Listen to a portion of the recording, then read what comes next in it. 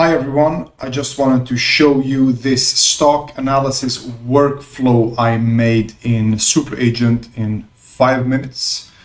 Um, real quick, uh, what it does is that it analyzes public stock, in this case Tesla, and runs that through a earnings report agent that is able to surface financial metrics based on its earnings report and then it looks online uh, to find credible sources, in this case Yahoo Finance and Bloomberg, in order to get um, expert opinion.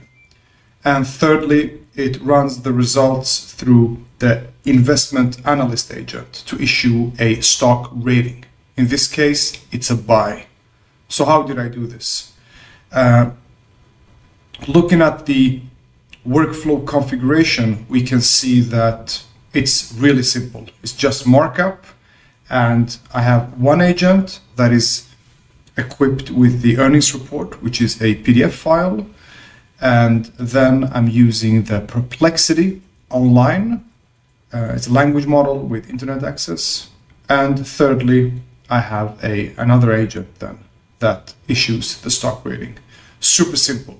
I can now add this to my application using the workflow ID with one of our SDKs or the API, or I can simply deploy one of our uh, pre-built app templates.